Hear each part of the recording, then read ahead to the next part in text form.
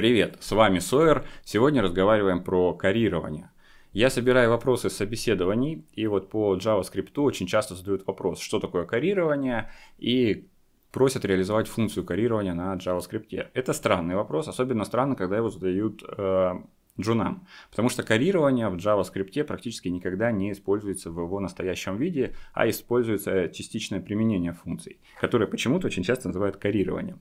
И вот в этом видео я хочу разобрать подробно, что такое карирование, чем оно отличается от частичного применения и почему в JavaScript удобнее использовать частичное применение вместо карирования. А, сразу скажу, что во второй части будет небольшая практическая а, работа, поэтому в теоретическую часть можете пропустить, сразу посмотреть в коде, что там происходит, но э, все равно рекомендую послушать теорию. Окей, а, начнем с того, что в одном из прошлых видео у меня был вызов вот примерно такого вида, когда у меня функция возвращала функцию, потом возвращала функцию, и многие сказали, что это есть карирование. Но а, здесь а, вот как раз и кроется ошибка. В большинстве случаев такой вызов это все равно частичное применение, а не карирование когда мы говорим про JavaScript, это важно. Почему? Вообще карирование – это преобразование функции от многих аргументов к набору функций с одним аргументом. И здесь уместно ввести понятие арность. То есть арность – это как раз количество аргументов функции и есть в связи с этим унарные функции, которые содержат один аргумент, бинарные функции, два аргумента, тернарные функции, три аргумента. Так вот, карирование – это преобразование функций со многими аргументами к набору унарных функций. Это важно примерно так же, как важно, как, не знаю, там какой-нибудь э, э, машина Тьюринга. Да, вот э, это теоретический аппарат, который позволяет сделать э, набор выводов доказать эти выводы, и, соответственно, унарный вид функций позволяет э, использовать математический аппарат, который связан с унарным с унарными функциями. И в функциональных языках очень часто все функции изначально хранятся в карированном виде. То есть а, они автокарированы, и а, внутри, в реализации, в языке программирования, они все хранятся в карированном виде. В JavaScript такого нет. Поэтому а, часто пытаются придумать что-то свое, при этом, как я уже сказал, вместо карирования используют частичное применение функций, что не совсем одно и то же. Ну и отсюда возникает куча всяких следствий. Что значит карирование? Значит, если у нас есть функция карирования, которая на вход принимает только один аргумент, она в этом смысле тоже унарна, и этим аргументом является какая-то функция с, со многими аргументами, то, например, для нашего случая с функцией с тремя аргументами а, функция carry создаст три функции с одним аргументом.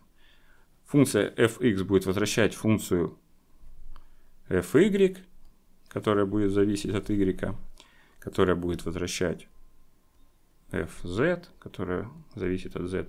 Ну и в конце будет выполняться все три функции. Вот так.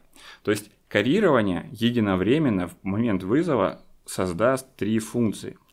Три функции, потому что у нас три аргумента. То есть количество создаваемых функций будет количеству аргументов равно. И это важно. А, следовательно, благодаря такому, такой записи мы как раз и можем вызывать их последовательно f от x от Y и от Z. При этом важно понимать, что даже если мы попытаемся неунарным способом использовать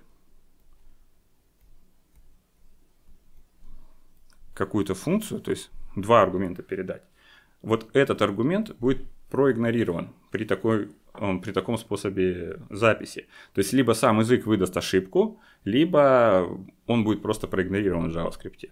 Это важно, потому что вот это как раз и нарушается в частичном применении. Что же такое частичное применение? Давайте посмотрим. У нас есть вся та же, все та же функция fx, y, z. Так вот, частичное применение – это когда мы применяем какую-то функцию, назовем ее f', но не для всех аргументов, а только для части, например, для x и y. И она возвращает всегда функцию, которая ожидает оставшиеся аргументы. То есть вот так. Если бы у нас была, например, функция f, x, y, z, n, скажем так, и вот так мы бы записали, тогда ожидалось бы z n, да? То есть те, которые мы задали на первом шаге, а, мы их вы, вы, выкидываем как бы, а оставшаяся функция ожидает вот этот остаток.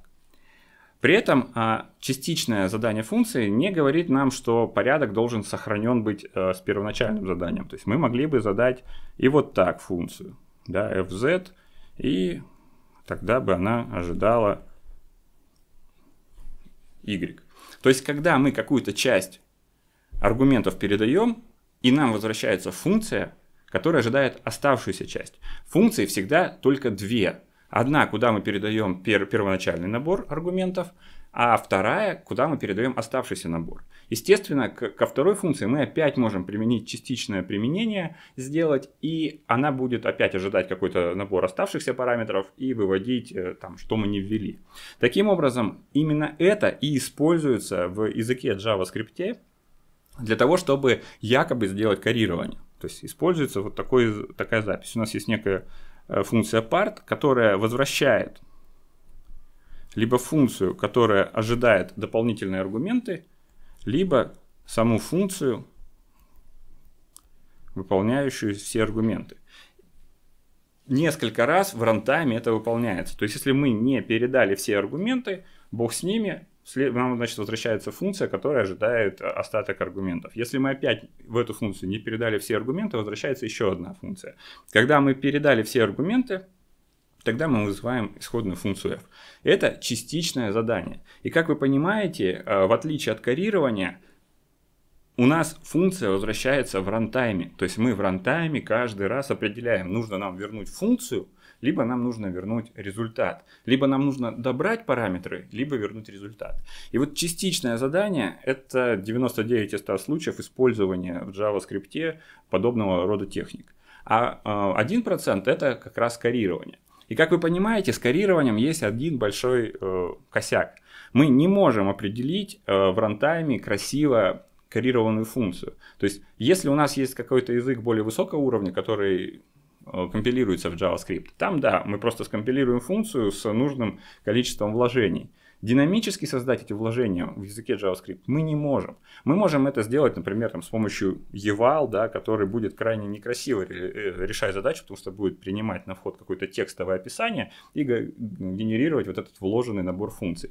Мы можем создать функции, которые будут фиксированы относительно э, количества аргументов. Там carry 3 это для трех аргументов, да, Карри 4 для четырех аргументов. Потом мы их можем каким-то образом а, а, между собой объединять. Но это все некрасивые варианты. Поэтому люди в JavaScript сделали вид, что карирование и частичное применение функции это практически одно и то же, и стали появляться такие термины, знаете, как карировано относительно первого аргумента. Это, знаете, из серии э, немножко беременно. То есть берут, когда у нас функцию, допустим, там f carry x. Так. y, z. Да? То есть вот такое, такая функция выполняется и выводит результат. И при этом, если мы попробуем еще один раз вызвать, выдастся ошибка. То есть вот частичное применение, она нарушает идею карирования, при котором у нас есть э, только унарные функции. И именно это основная претензия у функциональщиков к реализации э, карирования с помощью частичного применения. Но давайте, хватит теории, давайте посмотрим на практике, как это выглядит. И я надеюсь, вам станет э, все намного понятнее. Посмотрим на реализацию функций. И я не стал набирать это все вживую, сделаю сразу два варианта. Значит, первый вариант это как раз частичное применение – которые я описывал. И особенностью реализации является то, что мы расширяем прототип функции для того, чтобы просто иметь возможность у каждой функции в программе применить такой вариант, а, там, назовем его псевдокарирование. Второй вариант это настоящее карирование, когда мы делаем функцию carry, которая принимает на вход один параметр, один аргумент, и далее создает три дополнительных функции, которые выполняются. Что здесь происходит э, в первом случае? Ну, как я и говорил, создается функция э, для частичного применения, которая, э, во-первых, не унарна, да, она содержит указатель на функцию, которая должна быть якобы скорирована, и аргументы, которые мы собрали в первом подходе. Дальше, если количество аргументов достаточно для того, чтобы вызвать функцию, она вызывается. Если недостаточно, то выдается другая частично заданная функция, которая дособирает параметры. Опять же, если этих параметров будет не хватать, вернется еще одна функция. То есть э, функции создаются по мере необходимости. А в случае с реальным коррированием за один шаг создаются все три функции, и, соответственно, они потом а, ведут к выполнению заданной функции. А, сложение – простая операция, которая, я думаю, понятна всем, взята здесь чисто для примера. Вот мы берем честный вариант с коррированием и созданный вариант для э, расширяющей прототипы функций. В такой записи никакой разницы нет. Результат получили одинаковый. То есть визуально кажется, что мы получили одно и то же. Но на самом деле, если мы сейчас возьмем и немножко изменим эти функции, например, добавим тройку вторым аргументом, что произойдет? Функции отработают по-разному. То есть различия уже начинают быть заметным. Первая функция вернет функцию с одним аргументом, как и положено. Вторая вычислит а, те параметры, которые есть, потому что это частично примененная функция. Если же мы сейчас сделаем вызов еще один раз, то уже первый вариант отработает, а второй выдаст ошибку. То есть здесь уже явно заметна разница между частичным применением и реальным коррированием. Реальное коррирование всегда возвращает набор унарных функций. И это говорит нам о том, что мы можем вызвать их ровно три раза. Если мы вызовем их меньше трех раз, мы на выходе получим функцию. Если больше трех раз, тогда, конечно же, ошибку. Частичное применение, как только она собрала со всех функций нужное количество параметров, она тут же вызывает функцию. Вот это кардинальное отличие в реализациях, и его нужно просто знать. Но, конечно же, давление сообщества есть, и на меня оно оказывается. Я сам очень часто называю частичное применение коррированием, и проскальзывает этот термин. Поэтому важно понимать, как правильно, но отвечать так, как ожидают. Спасибо, что слушали. Это был Сойер. До свидания.